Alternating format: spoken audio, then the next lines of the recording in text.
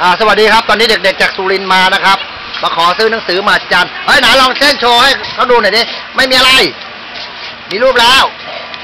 อ่ามีสีโอ้ผมเล่นไม่เป็นเลยนี่หว่าไอันนี้อะไรนี่อะไรเนี่ยอ่าไม่มีอะไรเออนี่เป็นเว้ยนี่เป็นอ่าไม่มีอะไร เออ มีรูปแล้ว เออ มีสีแล้ว อ่าแล้วมึงชื่ออะไรคนนี้ชื่ออะไรครับชื่อเบลครับชื่อแบมนะครับ อยู่ปอไหนครับ ขึ้นปอไหนคือจะขึ้นป .6 คจะรับขึ้นป .6 เลยครับ จากสุรินทร์เลยละครับ แล้วนั่งตอนเช้านั่งอะไรมา นั่งรถไฟ รถไฟมาแล้วคุณชื่ออะไร ชื่อแม็กครับ แม็กขึ้นปไหนจะจะขึ้นป .5 ครับ ตอนเช้านั่งรถไฟมาเหมือนกัน ครับ จะเสียเงินเปล่าวะ เสียครับเท่าไหร่16บาทสิบหกบาทต่อคนเลยเหรอวะ แล้วนี่ชื่ออะไรถูกครับ ขึ้นชั้นไหนป .2 ครับ เดี๋ยวนั่งรถไฟมาเหมือนกัน แล้วเสียเงินไหมนี่ตัวเด็ก8บาท เสียแปดบาท แล้วทำไมไม่นั่งรถฟรีมาวะ หรือไม่มี รอนาน รถฟรีรอนานเหรอ ใช่ไหมโอเคซื้อหนังสือมาจันแล้วตกลงซื้อได้เท่าไหร่วะเนี่ยเล่มละ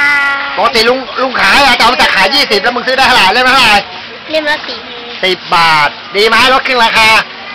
ดีครันะบดีนะเออขยันขยันหาเงินนะครับ โอเคครับ ขอบคุณมากครับ